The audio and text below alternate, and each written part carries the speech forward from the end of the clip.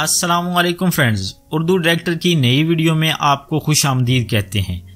अलहदा नामों के बावजूद ये सब चाइना ही से ताल्लुक़ रखते हैं और ये सब बाइक चाइना ही के हैं। लेकिन दोस्तों, होंडा पाकिस्तान में सबसे ज़्यादा पसंद किया जाने वाला बाइक है। सत्तर सीसी हो या होंडा वन टू फाइव, अपनी पायदारी की वजह से बहुत ज़्यादा पॉपुलर है।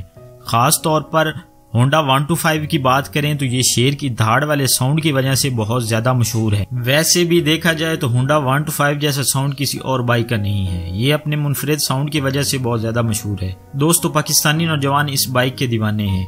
होंडा वन टू फाइव के आने वाले नए मॉडल में ब्लैक लसेंसर ने तो इसकी खूबसूरती को चार चाँद लगा दिए हैं। दोस्तों, अगर होंडा वन टू फाइव की हिस्ट्री की बात करें तो ये सबसे पहले 1976 में जापान में बनाया गया। शुरुआत में ही इस बाइक को बहुत ज़्यादा पसंद किया गया था। इसके अलावा ये बाइक ब्राज़ील, तुर्की और यूरोप में भी बहुत मशहूर हुआ। दोस्तों हुडा वन टू फाइव खास तौर पर अपनी किक और शानदार आवाज़ की वजह से हर जगह पसंद किया गया। दोस्तों, इसके अंदर 125 CC four stroke one cylinder engine होता है। इसके अलावा दोस्तों, इसकी टॉप स्पीड 105 से लेकर 110 तक होती है। यानी कि 105 से लेकर 110 किलोमीटर फ़ी घंटा की रफ्तार से ये दौड़ सकता है।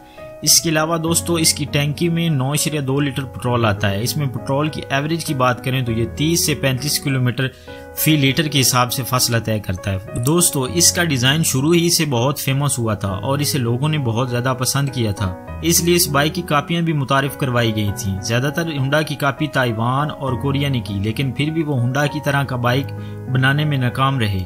लेकिन दोस्तों, आपको ये जानकर हैरानगी होगी कि बाइक 2008 से पूरी दुनिया में बंद हो चुकी हैं। 1976 से लेकर 2008 तक ये बाइक बहुत ज़्यादा मशहूर रहे, लेकिन 2008 में हुडा ने ये बाइक बनाना बंद कर दिए। दोस्तों, इसकी वजह 2009 में होने वाला एमिशन ला था। ये मोटरसाइकिल इन कवानीन पर पूरा नहीं उतरता था।